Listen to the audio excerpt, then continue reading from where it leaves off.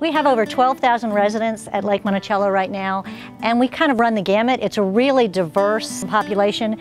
We have folks who retired and moved here to enjoy the amenities. Then we started in the late 90s really becoming a bedroom community for Charlottesville. So we had a lot of young families, young professionals who commute to Richmond or Charlottesville to work often, but also enjoy their weekends here where we have the lake, the pools, the beaches, some golf. It's a really diverse community. It's really one of the strengths I think we have is when we come together as a community for 4th of July events or celebrations of autumn, it's really just a, a good feeling.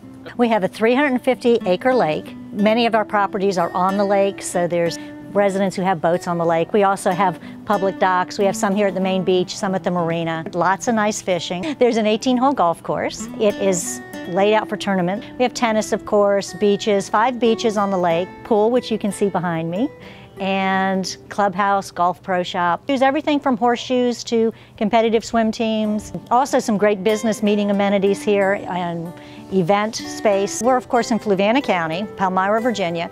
From the west end of, of Richmond, we're about 45 minutes maybe at the most. But you can be in Charlottesville in closer to 20 minutes maybe. You get the rural feeling here in Fluvanna County, but within 15 minutes to a half an hour, you can be to the bigger and when I say bigger city, it's hard for many people to think of Charlottesville as a bigger city, but for those of us in Fluvanna, that's, that's town. Living here in Fluvanna County, we have lower costs to buy your house in the first place, so you can get more house for your money. We have all these great amenities, which many of the communities in Charlottesville do not have, particularly the lake. It's just a wonderful place to live as far as having a rural setting and being close to all the amenities you could ever want. This is the, a wonderful place to be.